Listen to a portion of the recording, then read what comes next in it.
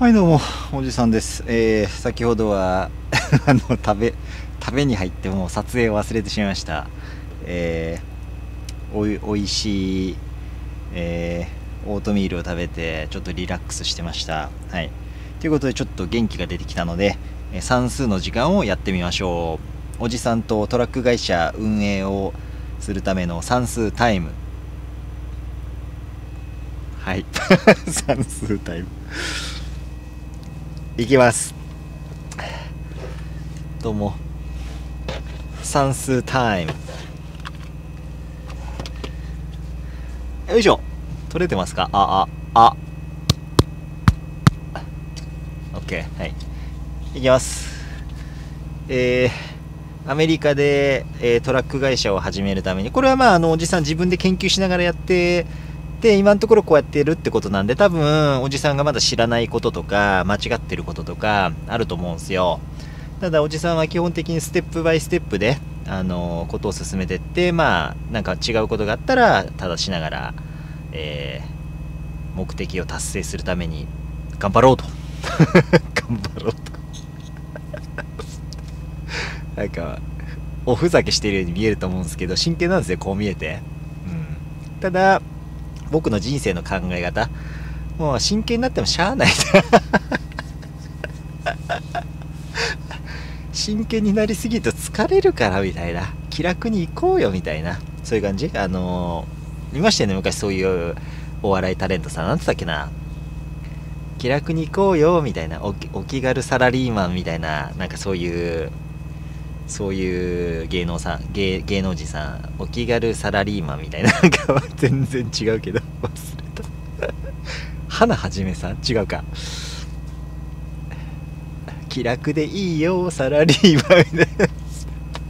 サラリーマンの人怒られちゃうんですよね。サラリーマンは大変なんですみたいな。わかる。サラリーマンの方が大変だと思う。尊敬してます。サラリーマンの皆さんはおじさんは尊敬しておりますサラリーマンの皆さんを。上司と部下に挟まれてしかも最近は若者ね。わかんないよねみたいな。なんかそういう。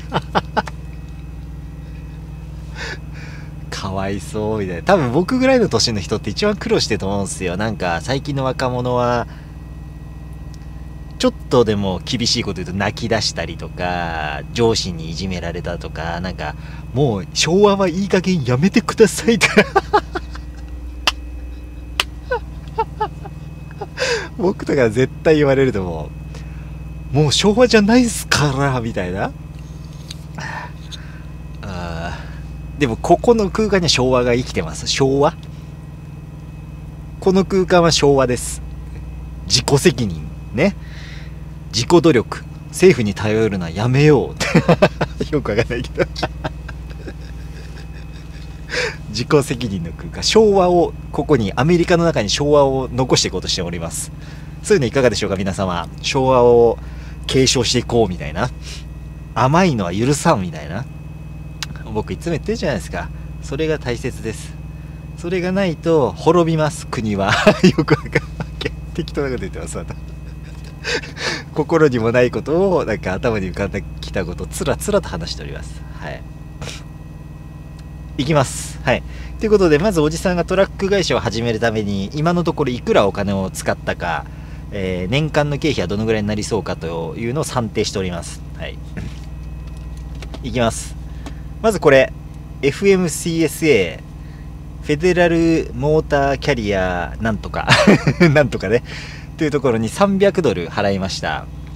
それでこの DOT っていうのとこの MC っていうそのトラック会社の登録番号を入手しました。DOT ナンバー MC ナンバーね。持ってますおじさんもすでに。はい。まだ入手して間もないです。入手したのが7月3日か4日？3日ぐらいかな。うん。まだ1週間経ってないです。はい。でえー次、これね、MO プロパティタックス、調べました。カスカウンティは6.71%です。えー、で、現在のおじさんのトラックの価値はですね、なんかカスカウンティによると、2万、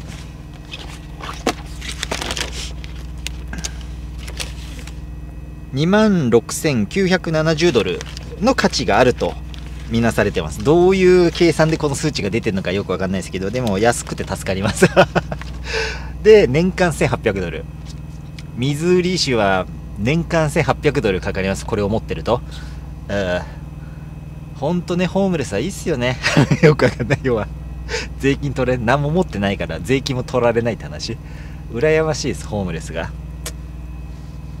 憧れます よくわかんないけどはい、ということで、これは払い続けなきゃなんないです、持ってる限りね。ただまあ、その、毎年毎年この価値は下がっていくんで、少しずつは下がっていくと思うんですけど、でもまあ、このぐらいは考えててくださいで、1月100ドルぐらい。はい、えー、となってます。ここが僕が疑問なのは、まあ、このプロパティタックスっていうのは、その、トラックだけじゃなくて、個人の方が持ってる自動車？乗用車？バイク？ボート？エアプレーン？うじゃうじゃって、で、いくつかあるんですよ、カテゴリー。で、えー、エアプレーンのタックスレートはかなり安いです。なんか5%みたいなね。5%っていうか、5%じゃないか。なんかすごい安いはずなんですよ。まあまあ、ともともかく、その、えー、かかると。これ、実は結構おじさん驚きです。うん。あのー、購入した時の消費税はかかんないっていうのは良かったんですけど、あのー、ワンタイムの消費税ね。ただ、プロパティタックスがかかると。で、これは多分僕思うんですけど、他の州だとないところとかあると思うんすよ。これ州、州のもんなんで、州ごと。だから、まあ、まずはもうちょっとミズーリで会社始めてるんで、まあ、しょうがないと思って、あのー、まあ、諦めて、諦める、諦めるしかないんで、あのー、払って、えー、まずはミズーリで自分独自のトラッキングビジネスを開業しようとしてるんですけど、まあ、将来調べて、また、おじさんの中では多分ワイオミングとか、なんかアリゾナも良さそうなんですけどね。まあちょっとよくわかんないんだけど、まあともかく調べて、引っ越しするに値するような場所が出てきたら、まあ、将来考えてビジネスも移してホームアドレスも移して、えー、やるっていうのもいいかなと思ってます、うん。まあ、ただおじさんも将来あまなもう長くないんですけど、まあ、もし次のトラクターを変える時が来たらそのここで水売りで登録した方がいいのか引っ越ししてそっちで新しく始めて登録した方が得なのかちょっとよくわかんないですけどね。まあそれまで調べてみようと思ってます。ただまあ今回はまあ水売りでスタートしようかなと思ってます。で、まあ、ひどく悪くはないと思う。ニューヨークとかに比べると。あそこでやったらもう、もう、悪夢だと思う。なんかちらっとトラック、こういうのをニューヨークでやろうとしてる人のビデオとか見たんだけど、もうほんとね、あの州はもうトラッカーフレンドリー。なんか、トラックの保険も、もうなんか1日500マイル以上走る保険がないとかみたいな、それ以上走ったら保険無効になるとか、なんか、とにかくいろいろ制約やたらあるらしいんですよ。登録できないとか簡単に。だからその人もやって言ってたのがニューヨークベースでやり始めたんだけどなんかオハイオで登録しましたみたいな。ニューヨークは諦めましたみたいな。なんか知り合いがオハイオにいたんでオハイオにでやるってことにしてオハイオで IRP プレート取ったって言ってましたね。そんなのがあったんでおじさんの選択は今とか合ってた。要はトラック会社をニューヨークで登録したら絶対苦労するだろうなと思ったんでその会社とかもその水売りで全部作ってたんですよだからまあ、水売りのこのタックスレートがはに関しては一番よくはもちろんないけどまあそのニューヨークに比べたらもう天国多分うんということです。でね、話戻ります。まあ、そのプロパティタックスって言って、そのトラクターを所有してると、1年にこのぐらい取られると。で、これは IRP っていうのはその、水売りでライセンスプレートを取ると、全米どこ走っても OK ってやつね。そういうやつで、これは8800っていうのは仮想的な値段です。ちょっと分かってないです、まだ。どのぐらいになるのかね、年間払うの。うん。まあ、ちょっと多めに見積もってます。このぐらい見とけば大丈夫だろうっていうおじさんの予想、予想値。これはまだ払ってないです。はい。で、今のところ払ってるのはこの UCR。っていうトラック会社を全米でやるためには年間50ドルぐらいかかります。で、7月に払ったんで38ドルですけども、50ドルっていうやつね、これも毎年かかってきます。税金みたいなもんですね。あとこれもそうです税金 IRS って言ってお国さんに払うお金で、えー、なんだっけなヘビービークルユースタックスみたいなやつこれもとにかくこのどでかいトラックを走らせたい方はこんだけ払ってくださいとなってます。毎年ね。あと BO BOS BOC だったかな。ちょっと忘れた。どっちか。要はこのレジスタードエージェントって言って会社持ってるとその訴えられた時とかにその裁判所からの通知とかを受け取る場所っていうのを作っとかなきゃなんないんですよ。で普通の会社だとその州の中に1個レジスタードエージェントっていうのを持ってればいいんですけどトラックの場合走るでしょ全米中。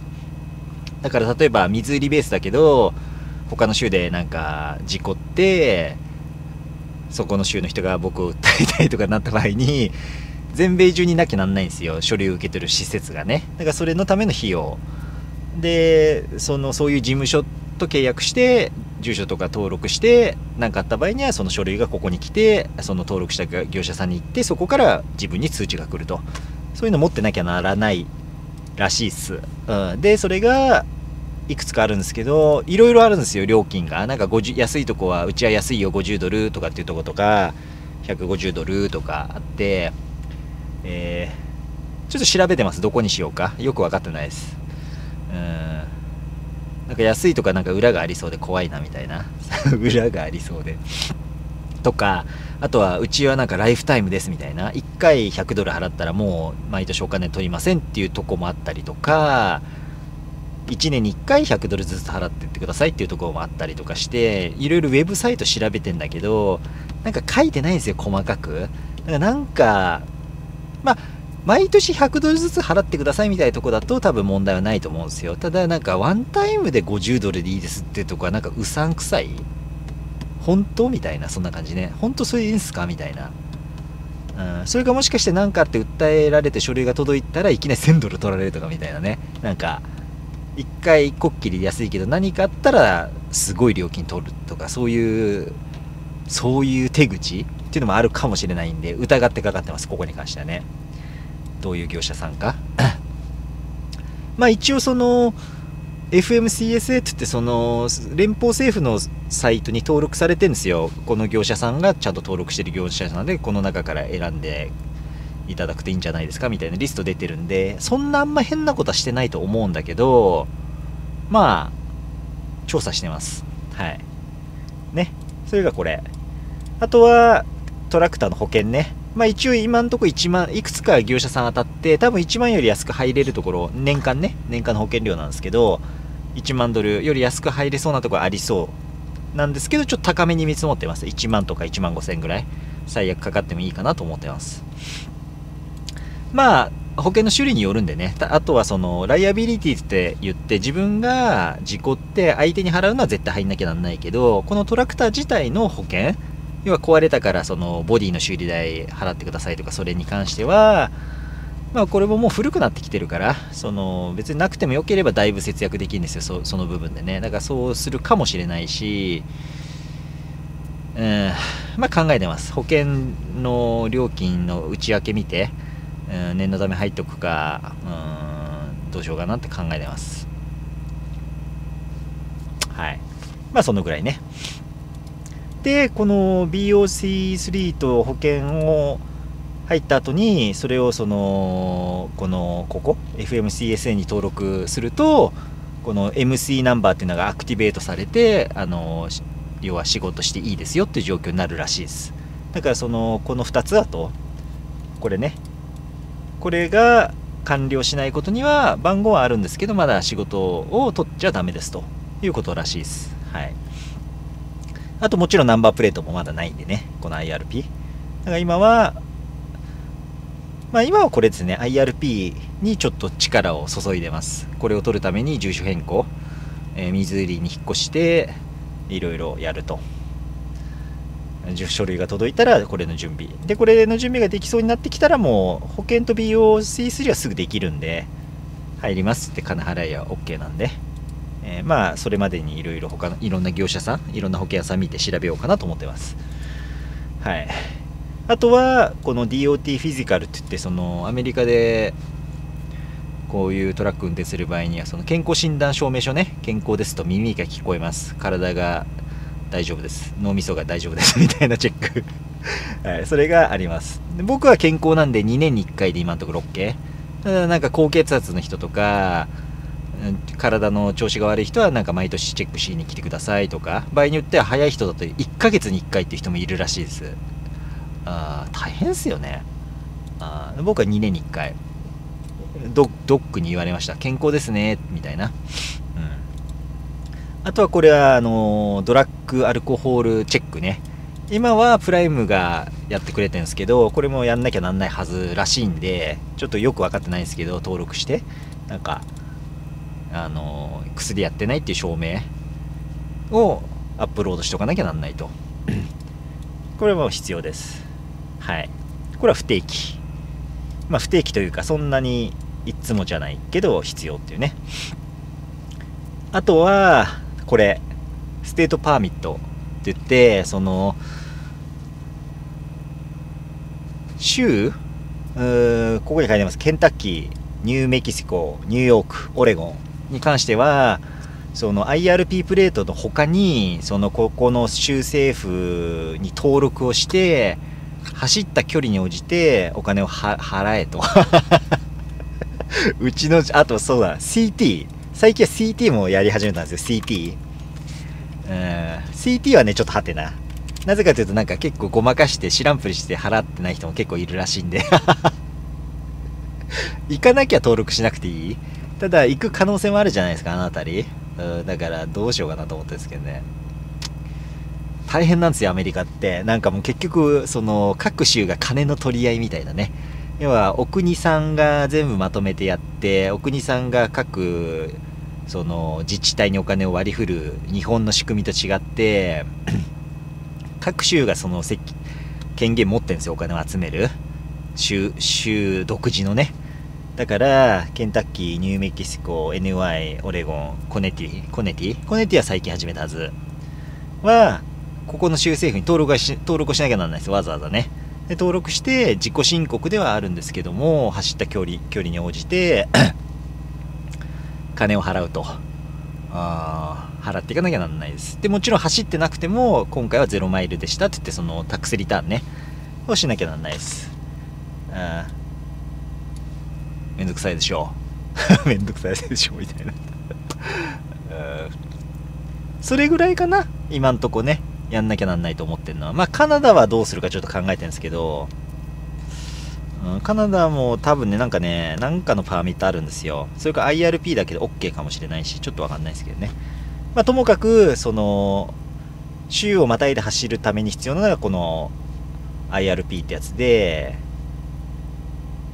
でこれでその走った距離に応じてああと IFTA だ IFTA MO IFTA 走った距離に応じてレジストレーション料金が各種に割り振るっていうやつね。それとあと燃料。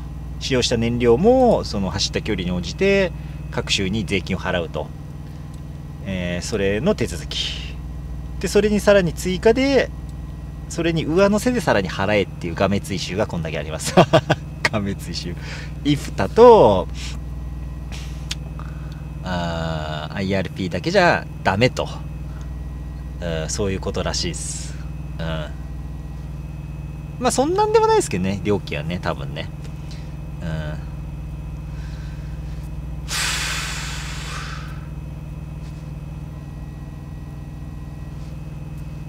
そういうこと？だからトラック会社を運営するためにはこれだけまずお金を払ってで四半期に1回？あとオレゴンとかは多分最初のうちは毎月申請しなきゃなんないんですよ。走りました走りませんでしたとかその辺り距離。で他の州は多分四半期に1回だと思う。うん。かな。うん。です。なんで今のところ計算した感じだとこのぐらい？年間1万3000から1万5000ドルぐらいの経費がかかると思います。走っても走んなくても。保険税金その他でね。だからまあ一月1000ドルちょい、えー、は最低かかるんではないかなと思っております。もちろんこれにトラクターのメインテナンスは含まれてないです。うんそんな感じね。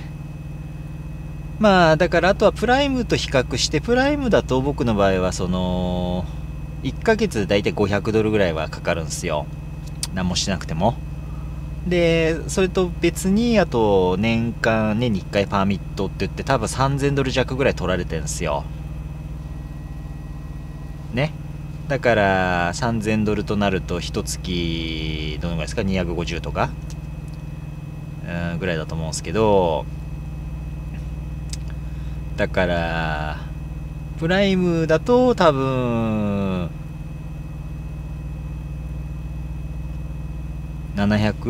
750ドルぐらい一月？の経費がかかってると。ここで働いてますけど僕ね、えー、そのぐらいの経費がかかってる。だからそれと比較してまあ倍まではいかないけどまあ高くなるんですよ。だから僕はいつも言ってるのは自分でやるとそのそういう経費がちょっと増すっていうそこね。あとまあ保険ね。保険が一番大きいんでどうなるかってとこなんですけど。うん。ですね、まあ、あとは自分でやるもしやるとなるとそのベストパスって言ってそのトランスポンダーとかあとは e ログ？E ログの装置をどうするかとかあとはドライブウェイズかプリパス？あのウェイステーションを通過できるやつも自分で入ろうと思ってるんでそこら辺もちょっと追加になってくるんでうん。まあそんな感じですかね。まあということで要は要するにとにかくそういうことを全部自分でやんなきゃなんないですと。で僕はこういうの自分でやるのが好きなんで業者に頼んでまあこういうのやってくる業者さんもあると思うんですよ。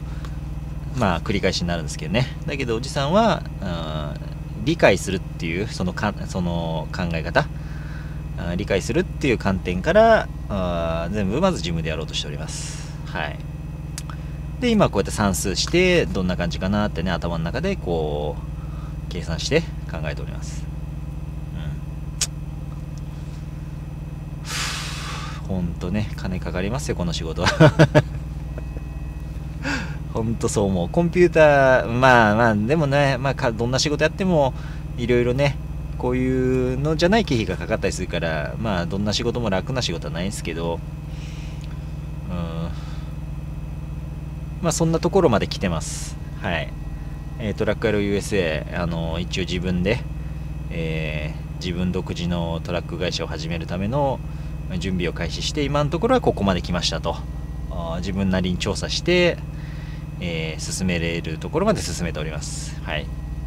そんな感じです。じゃあまたその変更とか変更というかなんですか進歩。こうなりましたああなりましたよっていうのがあったらまたその都度ビデオ作って、えー、状況をビデオに撮っていこうと思っております。はい、えー、一応今日はここまでです。えー、それではどうもまたお会いできればと思います。それでは失礼します。順調に進んでます今のところ。はい。ではどうも失礼します。はい。